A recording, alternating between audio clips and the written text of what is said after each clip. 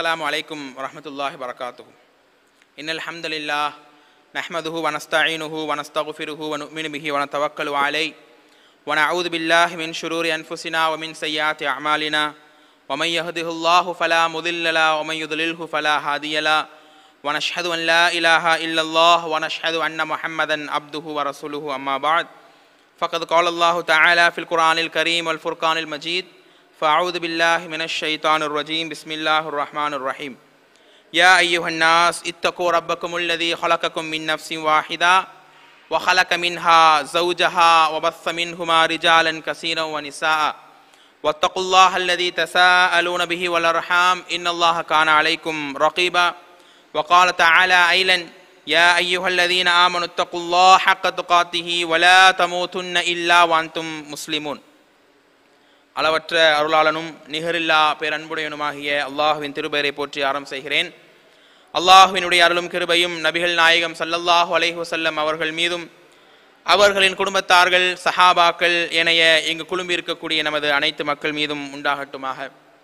அன்பிற்கினிய சகோதர சகோதரிகளே தாய்மார்களே பெருமானா சல்லல்லாஹ் அலைஹிஸ்ஸல்லம் அவருடைய மனைவிமார்களில் முதல் மனைவியாக இருந்த ஹதிஜா பின் ஹுவைலித் ரலி அல்லாஹன்ஹா அவர்களுடைய வரலாறைத்தான் நாம் இன்ஷா அல்லாஹ் இன்றைய தினம் கேட்க இருக்கிறோம்.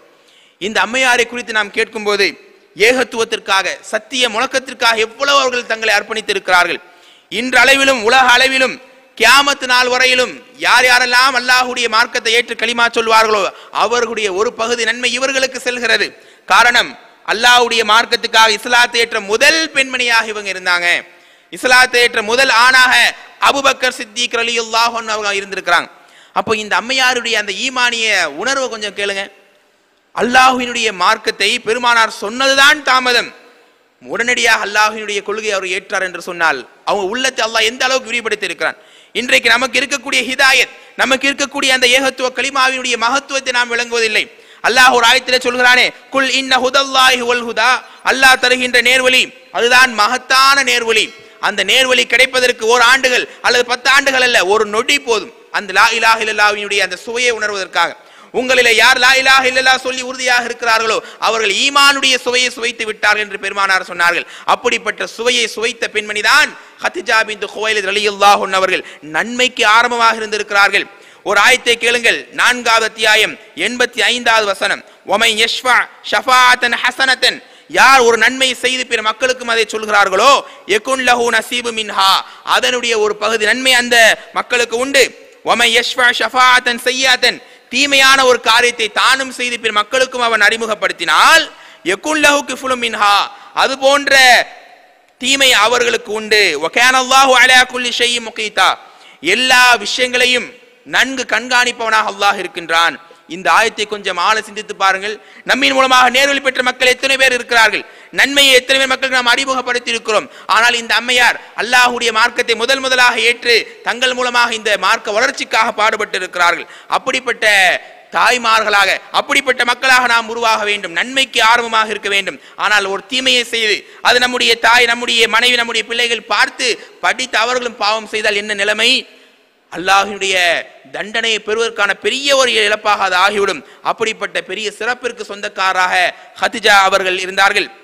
இவர்களுடைய தந்தையினுடைய பெயர் ஹுவைலத் பின் அசத் என்பதாகும். தாயினுடைய பெயர் ஃபாத்திமா பின் ஜாயிதா என்பதாகும். இந்த ஹதிஜா அம்மையார் அவர்கள் கிபி ஐநூத்தி ஐம்பத்தி ஆறாவது ஆண்டிலே பிறந்தார்கள். இவங்களுக்கு ரெண்டு சகோதரிகள். ஹாலா அப்படிங்கிற சகோதரியும் ருக்கையாங்கிற சகோதரி இருந்தாங்க. இந்த ஹத்திஜா அம்மையாரனுடைய தந்தை ஹுவைலித் இருக்காங்க பாருங்க. யமன் தான் சொந்த ஊர் அவருக்கு. யமனிலே இருந்து மக்காவுக்கு வியாபாரத்துக்காக வரும் பொழுது மக்காவினுடைய நகரங்கள் பிடித்து அங்கேயே அவர் தங்கி விடுகிறார். நல்ல ஒரு வியாபாரியாக வியாபாரத்திலே ஒரு பெரிய தலை சிறந்தவராக ஹத்திஜா அம்மையாருடைய தந்தை இருந்தாங்க. இந்த ஹத்திஜா அலி அல்லாஹன்ஹா அவர்களுக்கு ஒரு பட்ட பெயரும் இருந்துச்சு. என்னங்க? தாஹிரா அப்படிங்கிற ஒரு பட்ட பெயர்.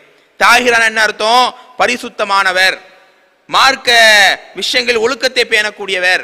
அப்படிப்பட்ட ஒரு குணம் கொண்டவராக அவங்க இருந்தாங்க. இறையச்சத்துக்கும் இஹ்லாசுக்கும் உள தூய்மைக்கும் பெயர் போன ஒரு பெண்மணியாக அன்றைக்கு அவங்க இருந்திருக்கிறாங்க. அன்றைக்கு ஐயாமுல் ஜாகலிய காலம் எப்படிங்க?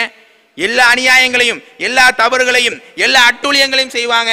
ஆனா அந்த நேரத்துல கூட அடுத்தவன் நல்லா இருக்கக்கூடாது நினைக்கிற ஒரு காலத்துல கூட ஹத்திஜா அம்மையார் பெண்களை பொறுத்தவரையில் தன்னுடைய சகோதரியாக இருந்தாலும் கூட அவர் விஷயத்திலே போராமைப்படக்கூடிய குணம் உண்டு. ஆனால் இந்த ஹத்திஜா அம்மையார் அலி அல்லாஹ் அந்த அறியாமை கால தீய பழக்க வழக்கம் எதுவுமே இல்லாமல் எல்லோரிடத்திலும் நல்ல முறையில் பழகின்ற பெண்மணியாக இருந்த காரணத்தினால இவங்களுக்கு தாஹிரா அப்படிங்கிற ஒரு பட்ட பெயரை மக்கள் எல்லாம் அழைத்து கூப்பிட்டார்கள். இவருடைய முதல் கணவர் வாலிப பருவத்தை எல்லாம் அடைந்து இவருடைய முதல் கணவர் யார் என்று சொன்னால் அபு ஹாலா இபுனு ஹுராரா என்பதாகும். முதல் கணவர் மூலமாக இரண்டு குழந்தைகள் பிறக்கிறது. ஹிந்த் என்கிற ஒரு குழந்தையும் ஹாலா என்கிற ஒரு குழந்தையும் பிறக்கிறது. இந்த முதல் கணவர் என்ன பண்றாரு? இளம் வயதிலே அவர் இறந்து விடுகிறார். மேலும் தன்னுடைய மகள் விதவியாகி விட்டார் என்று ஹத்திஜார் அலினுடைய தந்தை ஹவுலா ரொம்ப வருத்தப்படுறாரு. இரண்டாவதாக மகளை சம்மதிக்க வைத்து அத்தீக் பின் ஆயித் என்று அழைக்கப்படக்கூடிய ஒரு நபரை திருமணம் முடித்து வைத்தார்கள். அவர் மூலமாக ஒரு பெண் குழந்தை பிறக்கிறது. அதற்கும் ஹிந்த் என்பதாகவே பெயரிடப்படுகிறது. இந்த அத்தீக் என்ன பண்றாரு? அவரும் நோய்வாய்ப்பட்டு முதல் குழந்தை பிறந்த உடனேயே அவர் என்ன பண்றாரு? மரணிச்சிடுறார். இப்படி கணவனை இழந்து கைப்பிள்ளைகளோடு வாழ்ந்து கொண்டிருக்கும் போது தனக்கு எல்லா வகையிலும் உறுதுணையாக இருந்த தந்தை ஹுவைலிதும் மரணிச்சு போயிடுறார். ஹர்புல் ஃபுஜார் அப்படிங்கிற ஒரு போர்ல தந்தை என்ன ஆயிடுறாரு? கொல்லப்பட்டு விடுகிறார்.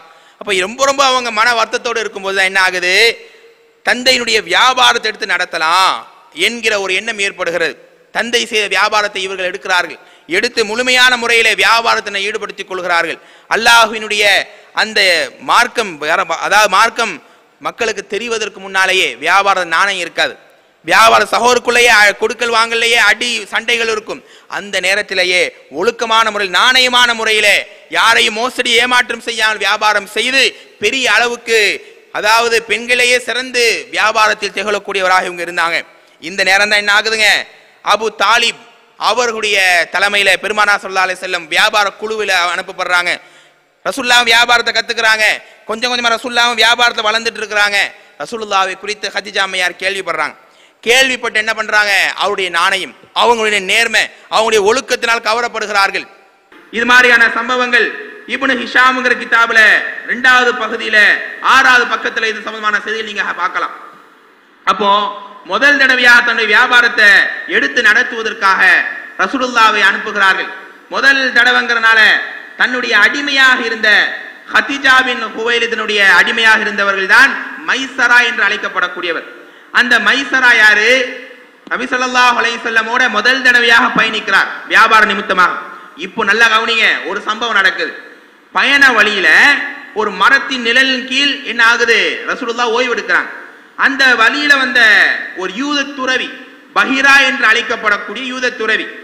அவர் கேட்கிறார் மைசராவை பார்த்து அதாவது இந்த நபர் யார்? இவர் மரத்தின் கீழே எடுத்துக்கொண்டு இருக்கிறாரே இந்த மரத்தின் கீழ் நபிமார்களை தவிர யாரும் ஓய்வெடுக்க மாட்டார்களே என்று சொல்லி நபிமாருடைய சிறப்புகளையும் அந்த பஹீராங்கிற ஒரு துறவி மைசரா கிட்ட சொல்லிடுறாங்க. அது போக வியாபாரத்தினுடைய எல்லா நுணுக்கங்களையும் அறிந்து கொள்கிறார். யாரு? நபி சொல்லா அலை வஸல்லமுடைய அந்த பயண தோழராக இருந்த மைசராங்கிற ரசுல்லாவுடைய அந்த கொடுக்கல் வாங்கல் அந்த நாணயங்கள் அந்த சிறப்புகள் எல்லாம் விளங்கிக் கொள்கிறார்கள். கடைசியில வியாபாரம் எல்லாம் முடிந்து ஹதிஜா பின் குவைல் ரலியல்லாஹு அவர்களை மைசரா சந்திக்கிறார். சந்தித்து இது மாதிரியான நாணயம் உள்ளவரை நாங்கள் பார்க்கவில்லை. இவரை குறித்து ஒரு யூத துறவி இப்படியெல்லாம் சிறப்பித்து சிலாகித்து சொல்கிறார் என்று சொல்லி ரசூலுல்லாஹ்வுடைய சிறப்புகளை விளங்கிய ஹத்திஜா அம்மையார். அதுவரையிலும் திருமணம் வேண்டாம் என்று இருந்தவர்கள் இப்படிப்பட்ட ஒரு நபரை திருமணம் முடிக்கணும் என்று ஆசை கொள்கிறார்.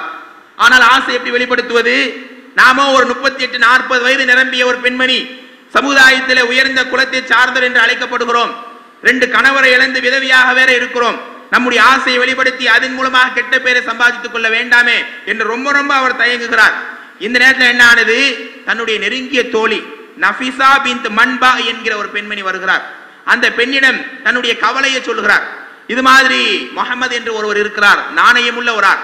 இதுல நீங்க என்ன விளங்கணும் தெரியுமா? இன்னைக்கு மன மகனை தேர்வு செய்கிறாள் எப்படி தெரியுமா? பொருளாதாரம் இருக்கா? பணம் இருக்கா? நல்ல டாக்டரா இன்ஜினியரா? இப்படிதான் பாக்குறாங்க இன்னைக்கு. அல்லாஹுடைய அச்சம் உள்ளவராக இருக்கிறாரா? சொந்த வீடு இருந்துட்டா அவர் குடிகாரரோ புகை பிடிக்கக்கூடிய எதுவுமே இன்னைக்கு பாக்குறது கிடையாது. ஆனா அன்னைக்கு ஹத்திஜா பின் குவைல் ரலியல்லாஹு என்ன பாக்குறாங்க நல்ல ஒழுக்கம் உள்ளவரா இருக்கிறாங்க நல்ல நாணயம் உள்ளவரா இருக்கிறாங்க நல்ல நல்ல பண்புகள் கொண்டவராக இருக்கிறாங்க என்பதாக அதை பார்த்து அதன் மூலமாக தன் கணவனை தேர்ந்தெடுக்கிறாங்க. ஆனா இன்னைக்கு பெண்கள் தன் கணவனை எப்படி தேர்ந்தெடுக்கிறாங்க? பொருளாதாரத்தை மட்டுமே அடிப்படையாக வைத்து தேர்ந்தெடுக்கிறாங்க. அதுவே ஆண்கள் தன்னுடைய மனைவி எப்படி தேர்ந்தெடுக்கிறாங்கன்னா அழகை மட்டுமே வைத்து இரண்டாவது பொருளாதாரத்தை வைத்து தேர்ந்தெடுக்கிறார்கள். அதனால் தான் குடும்பத்திலே சண்டைகளும் பிரச்சனைகளும் உருவாகிறது. அப்போ இப்படிப்பட்ட நல்ல ஒழுக்கமான ஒரு நபர் நம்ம கணவராக வந்தால் நல்லா இருக்குமே ஆசையை வெளிப்படுத்த அந்த நஃபிசா பின்த் மன்பா என்பவர் ரசூலுல்லாஹ் வந்து சந்திக்கிறார். யார் ரசூலுல்லா? உங்களுக்கு திருமணம் முடிக்க வேண்டிய ஒரு ஆசை இருக்கும் என்று நான் நினைக்கிறேன். உங்களை திருமணம் முடிக்க நம்மிலே சிறந்த ஒரு பெண்மை ஆசை கொள்கிறார். யாரம்மா நீ? எதற்காக எந்த பெண் நம்மை ஆசைப்படுகிறார் என்று அல்லாஹுடைய தூதர் கேட்க வியாபார நிமித்தமாக நீங்கள் பயணமெல்லாம் செய்து யாரிடத்தில் நீங்கள் கொடுக்கல் வாங்கல் வைத்திருக்கிறீர்களோ அப்படிப்பட்ட பெண்மணி ஹதிஜா பித் ஹுவைரது தான் அந்த பெண் என்று சொன்னதுதான் தாமதம். ஏன்னா ரசூலா அலை செல்லமும் அந்த அம்மையாருடைய நாணயத்தையும் வியாபார நுணுக்கத்தையும் பார்த்துக்கிட்டு இருக்கிறாங்க. அப்போ ஹத்திஜா அம்மையார் தான் தெரிந்த உன்ன. வயசை பார்க்கல ரெண்டு கணவரை இழந்தவன் பார்க்கல மூணு குழந்தைங்க இருக்கிறாங்கன்னு பார்க்கல நல்ல பண்பு இருக்கிறதா? நல்ல ஒழுக்கம் இருக்கிறதா? நாணயம் நேர்மை இருக்கிறதா என்பதை பார்த்து எனக்கு மனப்பூர்வமான சம்மதம் என்று என்ன பண்றாங்க? அந்த நபிசா என்கிற தோழியிடத்துல ரசூலுல்லா சொல்லி அனுப்புறாங்க. இதுக்கப்புறமா ரெண்டு குடும்பத்துக்கு மத்தியிலும் சுமூகமான முடிவு ஏற்பட்டு நபி சொல்லா சொல்ல முடிய பக்கத்துல ஹம்சார் அலி இருக்கிறாங்க. ஹத்திஜார் அலி அல்லாஹாவுக்கு பக்கத்துல அவங்க சிறிய பாப்பா உமர் பின் அசத் என்பவர் தலைமையில இவங்க ரெண்டு பேருடைய திருமணமும் அல்லாஹுடைய கிருபையில நடக்குதுங்க. அடுத்து உங்களுக்கு எல்லாம் தெரியும் ரசுல்லாவுக்கு திருமணம் ஆகும்போது இருபத்தி ஐந்து வயது. ஹத்திஜா அம்மையாருக்கு ஒரு வரலாற்று முப்பத்தி எட்டுன்னு வருது இன்னொரு செய்தி நாற்பது என்பதாக வருது. நாற்பது தான் அதிகமாக அறியப்பட்ட ஒரு வயது.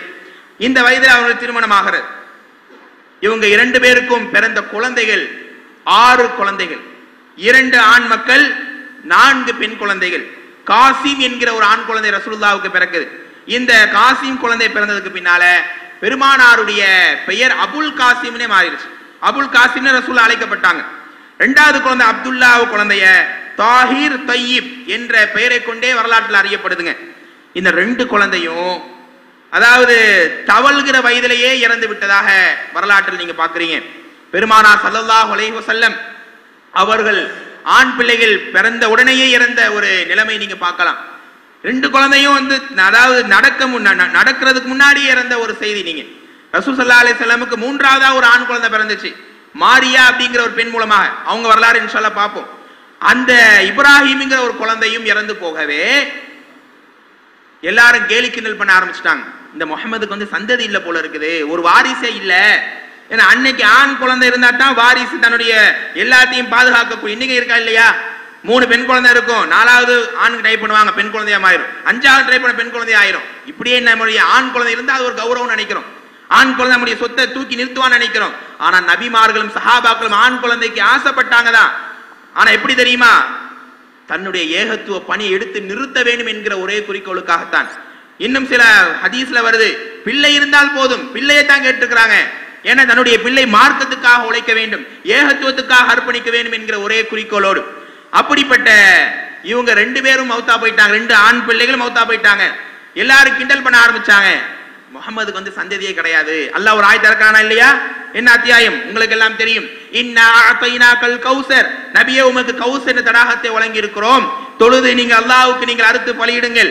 இன்ன ஷானிய கஹோல் அபுத்தர். நபியை யார் உண்மை எதிர்க்கிறார்களோ விரோதியாக இருக்கிறார்களோ அவர்கள்தான் சந்ததி இல்லாதவன் என்பதாக அல்லாஹ் ரபுல்லாலும் எச்சரித்தான். ஆக ரெண்டு குழந்தை இறந்து போயிட்டாங்க. அடுத்து நான்கு பெண் குழந்தைகள் இருந்தாங்க. ஜைனப் உம்மு குல்சூம் ருக்கையா ஃபாத்திமா ரலியல்லாஹு அன்ஹும். இந்த நான்கு பெண் குழந்தைகளுடைய வரலாறு இன்ஷால நம்ம சுருக்கமாக இங்கு நாம் தெரிந்து கொள்ள வேண்டும். அதாவது உம்மு குல்சூம் ருக்கையா இந்த இரண்டு பெண்களையும் திருமணம் முடித்த ஒரு சஹாபியாரு உஸ்மான் ரலியல்லாஹு அன்ஹு அவர்கள். அது மட்டும் இல்லாமல் ஃபாத்திமா ரலியல்லாஹு அன்ஹா அவர்களை திருமணம் முடித்தவர் அலி ரலியல்லாஹு உங்களுக்கு தெரியும். இந்த ஜெய்னப் அப்படிங்கிற பெண்மணி ரசுல்லாவுடைய மகள் அபுல் ஆஸ் என்று அழைக்கப்படக்கூடிய ஒரு நபரை திருமணம் முடித்தார். அவர் ஒரு காபிர் இந்த அம்மா இஸ்லாமை ஏற்ற பின்னாலும் கூட என்ன ஆகல? அந்த அபுல் ஆஸ்ங்கிறவர் இஸ்லாமை ஏற்கல. கடைசியில அவரை விட்டு மதினாவுக்கு ஹிஜ்ரத் பண்ணி வந்து இவங்க என்ன பண்றாங்க? தனிமையிலே இவங்க வாழ்றாங்க. அப்போ இங்க என்ன விளங்கணும்? நபி ஸல்லல்லாஹு அலிசல்லம் சிறு வயதிலே அவங்க பிள்ளைகள் இருக்கும்போதே எல்லாரும் இறந்து போன வரலாறு நீங்கள் கேட்கலாம் இங்க. ஹதிஜா ரலியல்லாஹு அன்ஹா அவங்களுடைய பிள்ளைகளான நான்கு பெண் குழந்தைகளும் ருக்கையா அவர்கள் ஹிஜ்ரி இரு- இரண்டாவது ஆண்டிலே மரணிக்கிறார்கள்.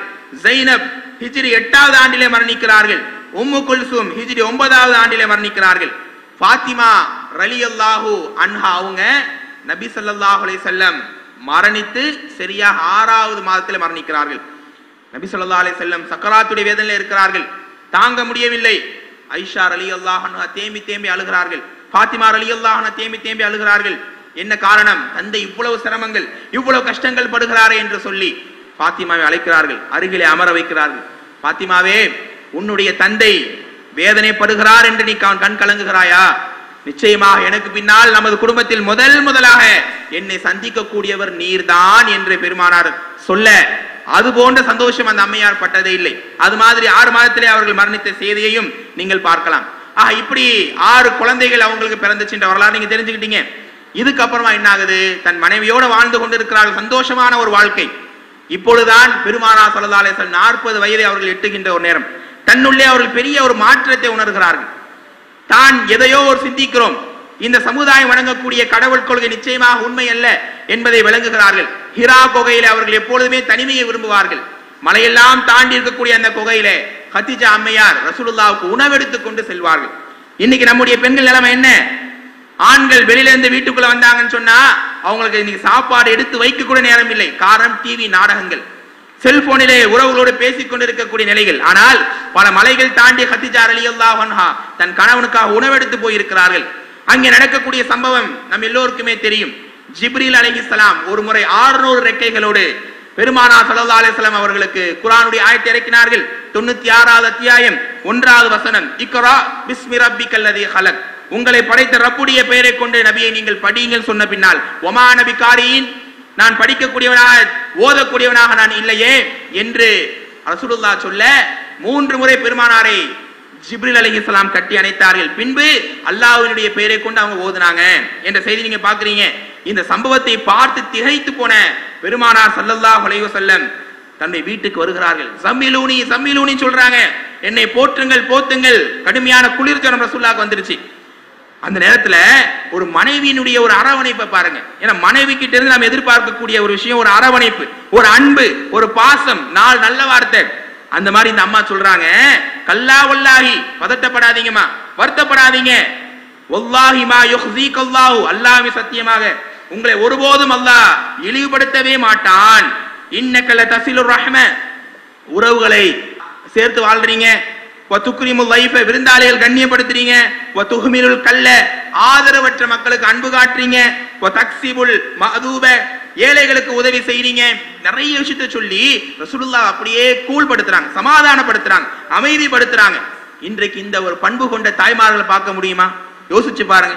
ஆண்களுக்கு வெளியில இருந்து வரும்போது பல கவலைகள் பல டென்ஷன்கள் ஆனால் மனைவியினுடைய பேச்சின் மூலமாக அது எப்படி அல்லாஹ் ரபுல் ஆலமின் சமாதானத்தை ஏற்படுத்துகிறான்? ஒரு ஆயத்தை கேளுங்கள். முப்பதாவது அத்தியாயம் இருபத்தி ஒன்றாவது வசனம். ஒமின் ஆயாத்தி அன் ஹலகலக்கும் அஸ்வாஜமின் அன்புசிக்கும் அல்லாஹ் வானங்கள் பூமிகள் எல்லாம் படைத்த தன்னுடைய அத்தாட்சி என்று கூறும் பொழுது என்ன அல்லாஹ் சொல்றான்? மனைவியை நான் உங்களிலிருந்தே படைத்தேன். அதுவும் ஒரு பெரிய அத்தாட்சி. என்ன அத்தாட்சி?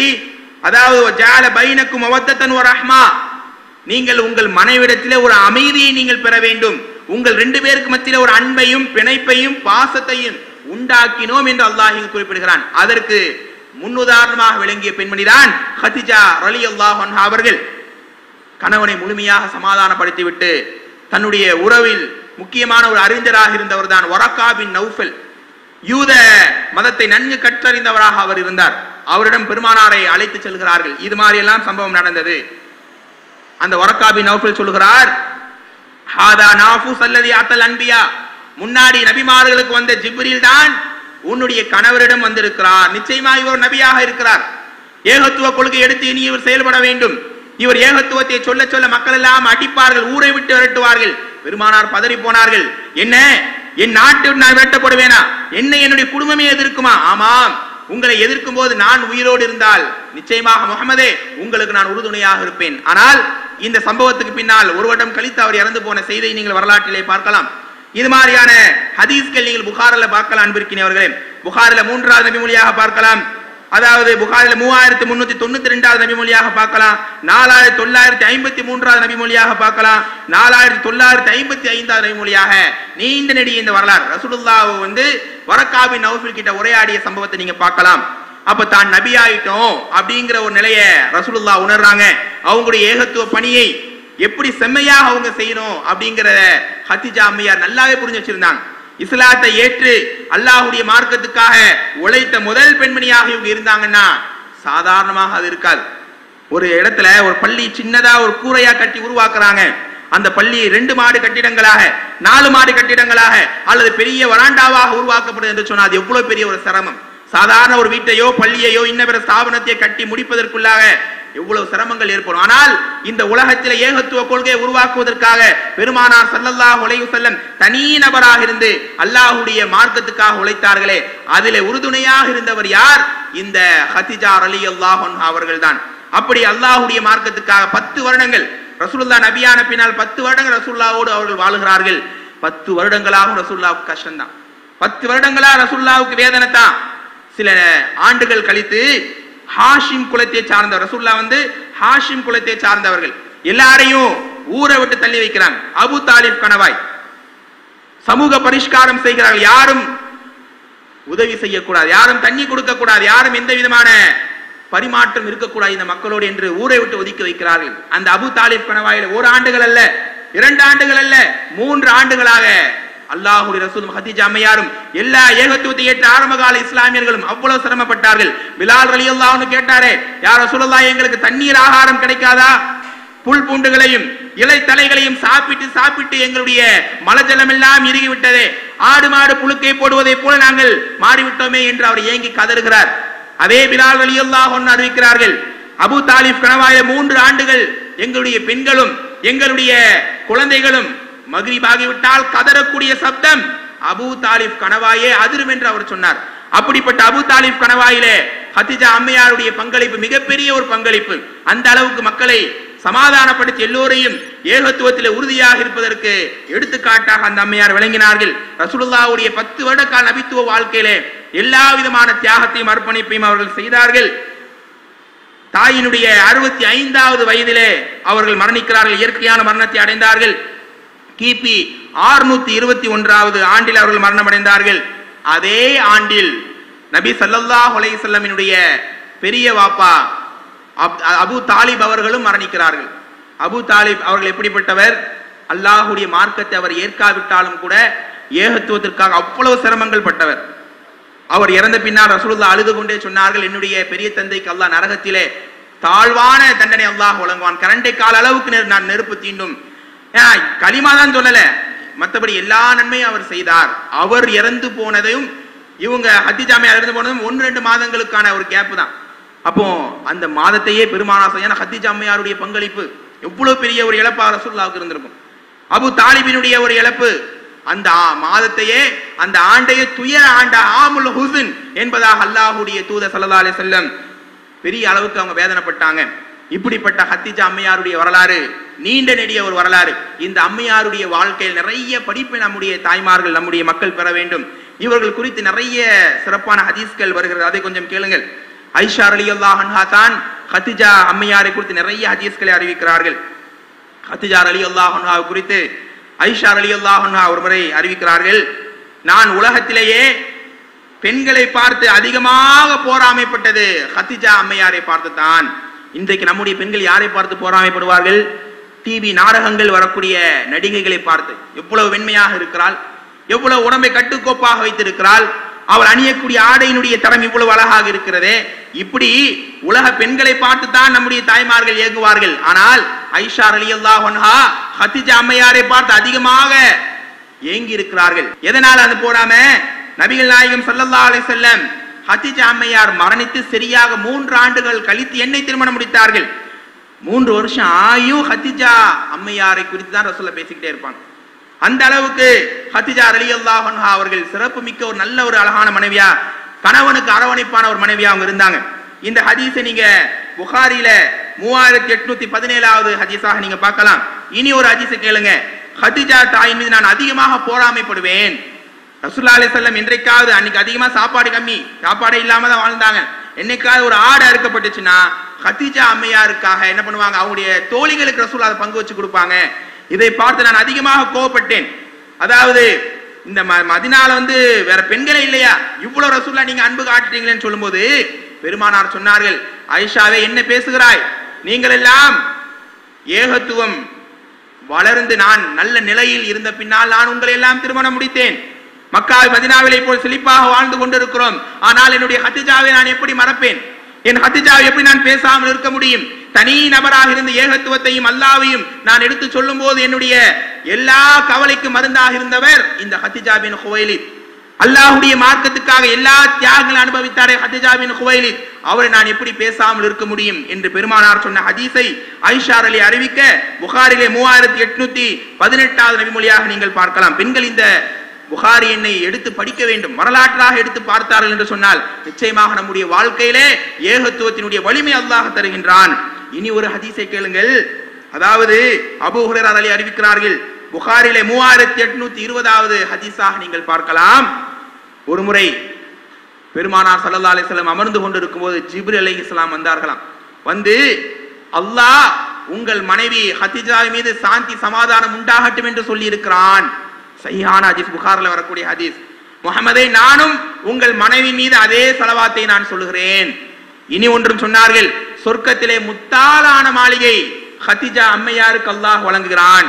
அந்த மாளிகையில் எந்த கஷ்டமோ துன்பமோ எந்த சடைவோ இருக்காது. நிம்மதியான மன அமைதியை தரக்கூடிய இல்லம் என்று ஹதிஜா அம்மையாருக்கு உலகத்தில் வாழும் போதே அல்லாஹ்வுடைய கருணை பெற்ற ஒரு பெண்மணி அல்லாவுடைய திருப்தியை பெற்ற ஒரு பெண்மணி. அது மட்டுமல்லாமல் முத்தாலான மாளிகை அல்லாஹ் அவர்களுக்கு கொடுத்ததையும் நீங்கள் இங்கே பார்க்கலாம். இனி ஒரு ஹதீஸை நீங்கள் பாருங்கள். ஹதிஜா அலியினுடைய மரணத்துக்கு பின்னால் தன் மனைவி ஆயிஷாவோடு ரசுல்லா பேசிக் கொண்டிருக்கிறார்கள். திடீரென்று அதாவது ஹாலா பின் குவைலி இவங்க யாரு? ஹதீஜா அம்மையாருடைய சகோதரி. இவங்களுடைய குரலும் ஹதீஜா அம்மையாருடைய குரலும் ஒரே மாதிரி இருக்கும். ரசுல்லா ஐஷாட்ட பேசிட்டு இருக்கும்போது இந்த ஹாலா பின் குவைலி இதை என்ன பண்றாங்க? வீட்டு வாசல்னு ரசுல்லாவை கூப்பிடுறாங்க. ஏதோ ஒரு சப்தமிட்டு அழைக்கிறாங்க. அது வரைக்கும் கேஷுவலா பேசிட்டு அல்லாஹுடைய தூதர் அப்படியே பதறிக்கிட்டு சந்தோஷமா என்ன பண்றாங்க? எழுந்து போறாங்க. எதுக்காக தெரியுமா? ஹத்திஜா தான் நம்மளை கூப்பிடுறாங்களோன்னு நினைச்சு ஹத்திஜா அவங்க நினைப்புல ரசூல் எழுந்து போறாங்க. நான் ஹாலான்னு சொன்ன உடனே யாழ்லா இது ஹாலா தானா? என் ஹத்திஜாவாக இருக்கக்கூடாதா? என்று பெருமானா சல்லா அலிசல்லம் ஏங்கிய ஹதீஸை நீங்கள் பார்க்கலாம். இதற்கு பின்னால் ஐஷா அலியுல்லான் கடுமையாக கோவப்பட்டார்கள். அதாவது குறைஷ் குலத்திலே ஒரு கிளவி ஒரு பெண். அவர்கள் மரணித்து விட்டார்கள். உங்கள் முன்னால் அழகான ஒரு பெண்ணை அல்லாஹ் வழங்கியிருக்கிறான். அழகான பெண் நான் இருக்க அந்த அம்மையாரை எப்பொழுது பார்த்தாலும் நினைத்து பார்க்கிறீர்களே? என்று ஐஷார் அலி கோவப்பட அதே ஐஷார் அலி அந்த ஹதீஸினுடைய இறுதி பகுதியில் அறிவிக்கிறார்கள். இனி ஹத்திஜா அம்மையாரை குறித்து எந்த சூழ்நிலையிலும் நான் தவறாக பேசக்கூடாது பேசவே மாட்டேன் என்று நான் உறுதிமொழி எடுக்கிற அளவிற்கு அல்லாஹுடைய தூர் கோவப்பட்டார்கள். ஹத்திஜாமையார் மீது நான் கோபப்பேன். அதாவது நான் ரோஷப்பட்டேன் காரணம் அல்லாஹுடைய தூதருக்கு அவ்வளவு நெருக்கமான மனைவியாக அவங்க இருந்திருக்கிறாங்களே. நம்மளும் அந்த மாதிரி இருக்கணுமே நான் ரோஷப்பட்டேனே தவிர எந்த விதமான கோபம் இல்லை என்று அவங்களுடைய வரலாற்றுல சொல்லி காட்டுறாங்க. அந்த மாதிரி ஹத்திஜார் ரலியல்லாஹு அன்ஹா அல்லாஹுக்கு நெருக்கமான பெண்மணியாக இருந்தார்கள். உலகத்திலேயே சிறந்த பெண்மணியாக மரியம் அலைஹிஸ்ஸலாம் ஹதிஜா அலைஹிஸ்ஸலாம் அவர்களை அல்லாஹ் ரபுல் ஏற்றுக்கொண்டான் என்கிற ஹதீஸை அலிரலி அறிவிக்க புகாரிலே மூவாயிரத்தி நானூத்தி முப்பத்தி ரெண்டாவது நபிமொழியாக நீங்கள் பார்க்கலாம். உலகத்திலேயே சிறந்த பெண்மணி மரியம் அலி இஸ்லாம் குறித்து பின்னாடி பார்ப்போம். அவங்களுக்கு ஈக்குவலா அல்லாஹ் ரபுல் ஹதிஜா அம்மையாரை சொல்லி காட்டியிருக்கிறான். அவர்களுடைய பிள்ளைகளை குறித்து சுருக்கமாக உங்களுக்கு நான் முன்னாடி சொல்லிட்டோம். அவங்களுக்கு நான்கு பிள்ளைகள் ரெண்டு ஆண் குழந்தைகள். அல்லாஹினுடைய மார்க்கத்துக்காக முதல் முதலாக இஸ்லாத்தை ஏற்று தியாகம் செய்த ஒரு பெண்மணி.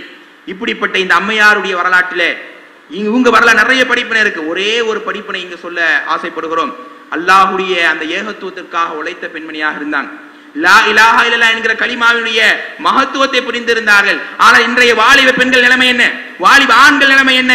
அல்லாஹ் ஏகத்துவத்தையும் ஹிதாயத்தையும் சத்தியத்தையும் வழங்கிய பின்னாலும் கூட அதை தூக்கி எறிந்து ஓடுகிற ஒரு கேவலத்தை தான் இன்றைக்கு பார்க்கிறோம். ஒரு அசிங்கத்தை பார்க்கிறோம். அல்லாஹ் வேண்டாம் மார்க்க வேண்டாம் என்று அற்ப காதலுக்காக ஓடுகிற அவல நிலைமை. ஆனால் இந்த தாய்மார்களுடைய வரலாறை கேட்டாவது நம்முடைய மார்க்கத்தை விட்டு தவறாக போகின்ற பெண்கள் திருந்துவார்களா?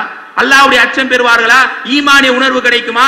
உலகத்தில் வாழும் போதே முத்தாலான மாளிகை உங்களுக்கு. உலகத்தில் வாழும் போது அல்லாஹ் உங்கள் மீது சாந்தியை ஏற்படுத்த வேண்டும் என்று துவா செய்யப்பட்ட பெண்மணியாக அவங்க மாறினாங்கன்னா என்ன காரணம்? அல்லாஹினுடைய மார்க்கத்தின் அடிப்படையில் கணவனை தேர்ந்தெடுத்தார்கள். அல்லாஹுடைய மார்க்கத்தை ஏற்று பத்து ஆண்டு காலங்கள் வாழ்ந்தாலும் கூட கியாமத்து நாள் வரையிலும் உலகம் அழிகின்ற வரையிலும் இவருடைய பெயர் வரலாற்றிலே ஒருபோதும் மறக்கப்படாது.